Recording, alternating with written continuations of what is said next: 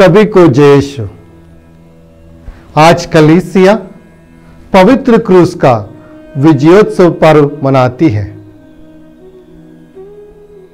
एक क्रूस विजय का चिन्ह कैसे हो सकता है? पहले जमाने में क्रूस दंड का चिन्ह था। जो लोग गलती करते हैं, उनको क्रूस दिया जाता था। मगर जब प्रभु यीशु को उस क्रूस में लिया गया, तब से वो क्रूस का विजय हो गया। आज के सुसमाचार में हम पढ़ते हैं, प्रभु ईश्वर इस दुनिया को इतना प्यार किया कि वह अपने इकलौते पुत्र को इस धरती पर बेच दिया हमें और आपको बचाने के लिए, हमें और आपको स्वर्ग प्रदान करने के लिए। और आज की दूसरा पाठ में हम पढ़ते हैं, प्रभु यीशु, एक ईश्वर होने के बावजूद भी। वह इस धरती पर आया, हम लोगों जैसे दीन बना और क्रूस उठाए, मेरे लिए और आपके लिए, ताकि मैं और आप स्वर्गराज का वारिस बने स्वर्गराज प्राप्त करें। जी हाँ, ये क्रूस विजय तब से हुआ जब उसमें प्रभु यीशु ठोका गया।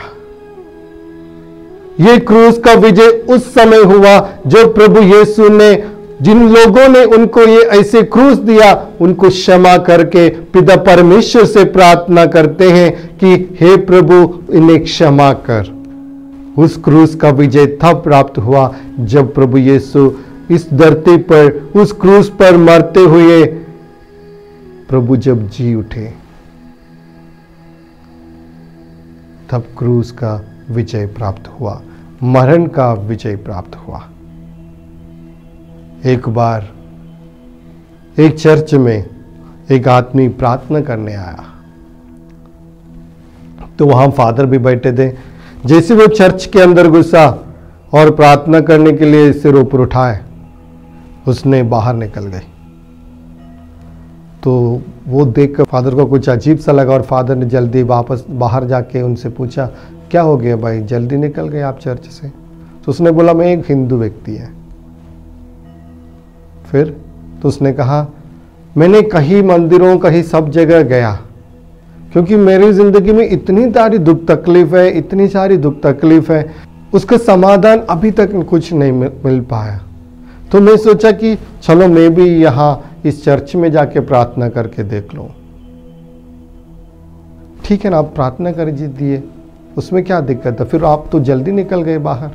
तो उस व्यक्ति ने यह कहा, मैंने जब चर्च के अंदर घुसा, वहाँ ऐसा एक प्रतिमा देखा, जहाँ आप लोगों ने इतने सेंडर में रखा है, वो मुझसे ज़्यादा दर्द सहते हुए पूरा खून से बहाए गए एक व्यक्ति को मैंने देखा। फादर ने बोला, वही है यीशु, जो ईश्वर का पुत्र इस धरती पर आया और मेरे लिए और आपके लिए भी क्रूस पर मरे। और फादर ने उनसे यह कहा, तुम सिर्फ़ उसी ईश्वर से प्रार्थना करो, जो ईश्वर तुम्हारा दर्द समझ सकता है, क्योंकि वह भी आपके समान इस धरती पर जिए और आपके समान दर्द सहा, ताकि आपको भी सुख प्रदान कर सकेंगे। इसलिए आपसे, आपकी दर्द को समझने वाले व्यक्तियों से सबसे महत्वपूर्ण व्यक्ति है वो जो क्रूस पर मरा पड़ा है। तो आप जाइए, आपका दिल उनके सामने खोले, वो आपको समाधान प्रदान करेगा, आपको शांति प्रदान करेगा और वो व्यक्ति आकर ईश्वर से प्रार्थना करते हैं।